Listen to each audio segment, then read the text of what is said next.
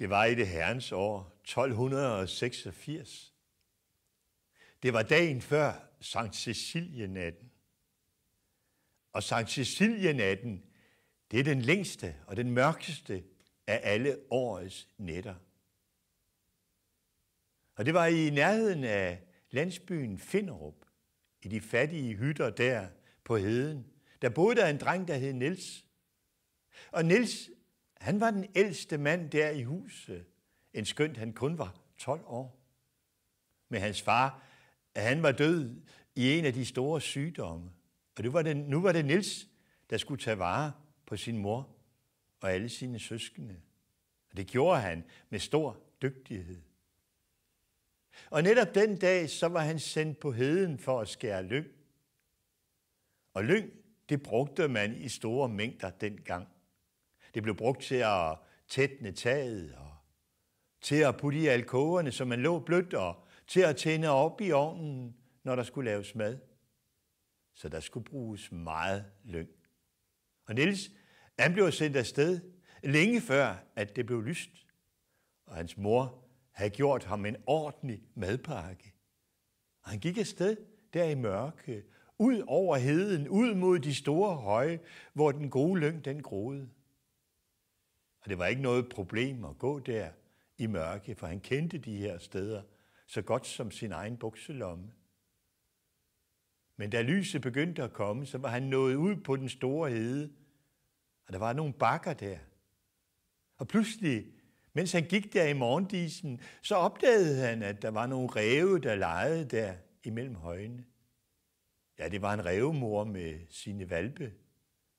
Og de var store, og de tumlede rundt, og Niels elskede at holde øje med dyrene, når han gik derude på heden. Og han lagde sig ned bag ved en høj og kiggede på reven, og han morede sig over, at de legede. Men øh, han var træt, og pludselig så faldt han i søvn. Han havde været op længe den aften, for de små træskud skulle ses efter, inden vinteren kom. Han vidste ikke helt, hvor længe han havde sovet, men han kunne mærke, at det var alt for længe, da han vågnede, for det måtte være næsten middag. Og han havde ikke fået skåret en eneste tot lyng endnu. Han skyndte sig at spise sin madpakke, og så begav han sig afsted i rask trav, ud over heden, ud mod de høje bakker, der hvor den gode lyng den groede. Og da han nåede frem, var han helt svedt, men han gik straks i gang med at skære lyng. Og han samlede sig en god bunke, og lyngen var god det år. Men øh, da han mærkede, at mørke var på vej, så kiggede han på sin bunke og så, at han havde nået alt for lidt. Og han vidste, at vinteren den kunne komme dagen efter. Og de havde ikke mere lyng derhjemme, så han satte farten op, og, og sveden den drev af ham. Og bunken voksede. Men da mørke kom, så havde han nu ikke nok. Og så var det, at han kom til at tænke på alle de, der havde gået på heden i mørket og i sneen. Og at nogen af dem ikke var kommet hjem, og først var blevet fundet, da det blev forår. Og han vidste, at det var farligt, og han tænkte, at det skulle ikke overgå ham. Og så øh, bestemte han sig for at finde et sted, hvor han kunne ligge i ly for natten. Og han kiggede sig om, og han så de høje, store høje med lyngtotterne på. Og så fandt han et sted, hvor han kunne grave sig en hulning ind under nogle kraftige lyngplanter og noget krat. Og han skrabte sandet ud og lavede sig en vold ud mod, og, og så slæbte han lyngen, som han havde skåret hen foran, så han kunne ligge i fred der for natten for de vilde dyr. Så kravlede han derind, og han kunne sådan lige ligge der inde og i læ. Og han kunne høre den der susen af vinden, som altid kommer, når det er ved at blive mørkt. Og så lå han der, mens sandet det sådan sile ned om ørerne på ham, men han var i læ og i sikkerhed. Og så var det, at han kom til at tænke på, at han var sulten. Det var længe siden, han havde spist, og han mærkede sulten i sin mave, men der var ikke noget at gøre. Han måtte se at få sovet. Og lige da han sådan var ved at falde i søvn, så kom han til at tænke på dem derhjemme. Han kom til at tænke på, at, at mor ville være urolig nu, for hun ville kigge ud af vinduet og holde øje med ham, og hun ville sætte lysene ud i vinduet, så han kunne finde det sidste stykke. Hun ville vente, mens de små de sov. Men han kom ikke i denne nat. Og han vidste, at hun måtte gå i seng forgæves. Men han vidste også, at hun ville tænke, at Nils han var så stor og fornuftig, at han nok skulle klare sig, og hun ville sove. Og nu lå han her. Og så var det, at han hørte den her underlige, bulrende lyd. Han tænkte, at det lød som tordenvejr. Og Nils vidste godt, at tordenvejr ude på den åbne hede, det kunne være farligt, man kunne blive ramt af lynene. Men nu lå han jo her ind under højen, og han følte sig rolig. Det, det gik nok. Men som han lyttede til jorden, så, så mærkede han, at det var ikke torden. Nej. Nej, det var, det var hestehov. Ja, de havde nogle gange drengene der ved hytterne lagt, lagt øret til jorden og hørt, når at der kom heste og ryttere.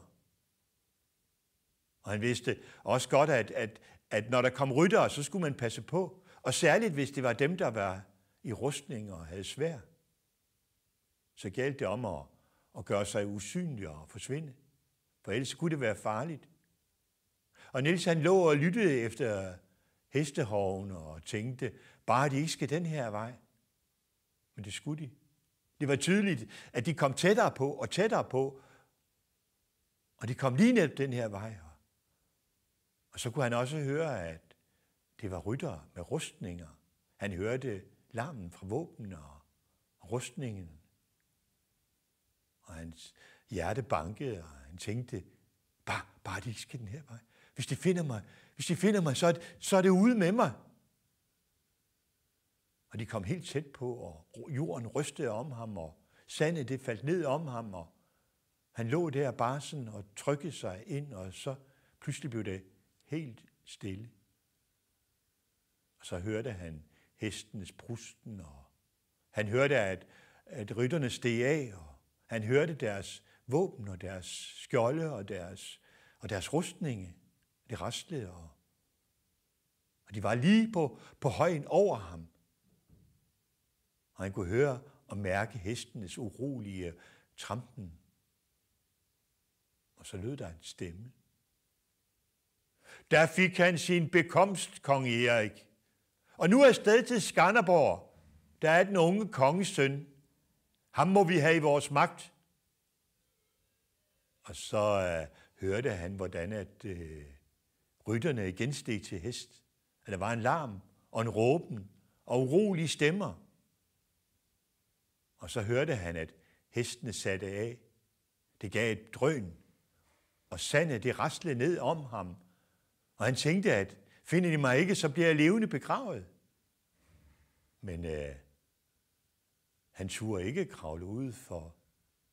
Tit så havde rytterne sagt, sat vagtposter, og måske stod der en tilbage og ventede på, at han skulle dukke op, og så var det ude med ham. Men øh, der var helt stille. Lige der. Han hørte kun øh, hestehoven i de fjerne, og han hørte, de forsvandt over mod Skanderborg. Og så øh, kravlede han alligevel frem. Han lyttede hele tiden og kiggede forsigtigt rundt, og der var helt mørkt over det hele. Han kravlede rundt om højen og kiggede op på højen, og der var ikke noget at se, ingen skygger, ingenting, kun mørke. Og så kravlede han op på højen og kiggede hele vejen rundt. Og så var det, at han så ildskæret ude i det fjerne.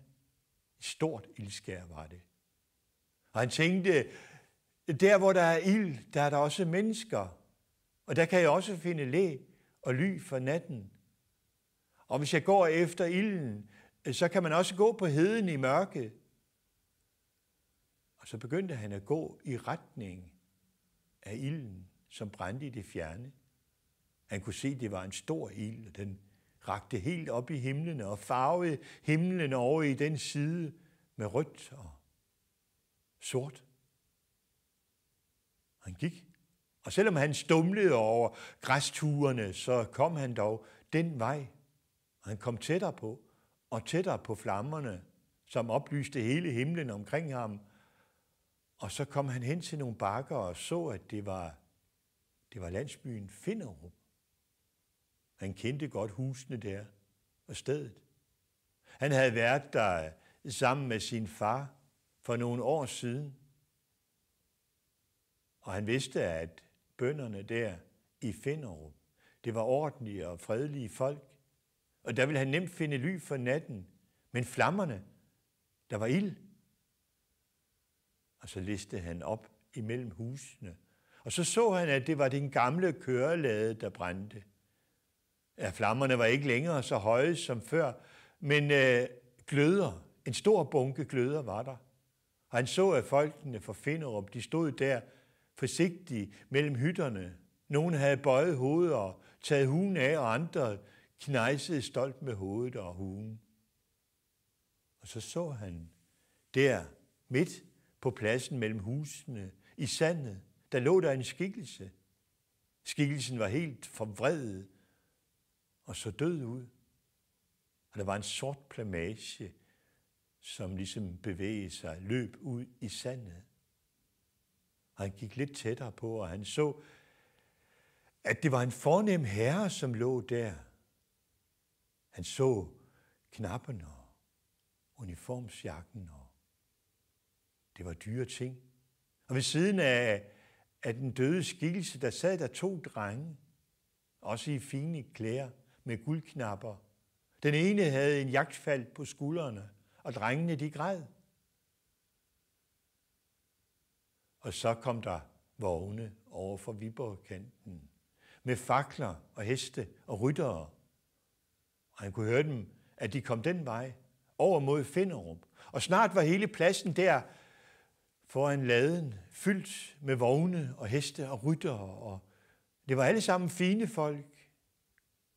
Og de læssede den døde skikkelse op på en af de største vogne og lagde ham til rette og og drengene kom op på vognen og sad der ved siden af med hver med en fakkel i hånden, og den ene havde en jagtfald på skuldrene, og de græd. Og så kørte de afsted over mod Viborg. Og de stod alle folkene der, Nils og folkene fra Finderup, og så dem efter dem, indtil de forsvandt i det fjerne som en lysende prik. Og de vidste ikke helt, hvad det var sket, den der nat i landsbyen Finderup. Men de var klar over, at det var noget alvorligt og noget farligt. Og at det var et kongemor, som var sket der. Og at det var slet ufred for landet. Det skulle de først få at vide en tid efter, da skjaldene kom forbi og sang deres viser og fortalte deres historier om kong Erik, som var kommet dage Sankt Cecilie natten i landsbyen Finderup i den gamle kørelade.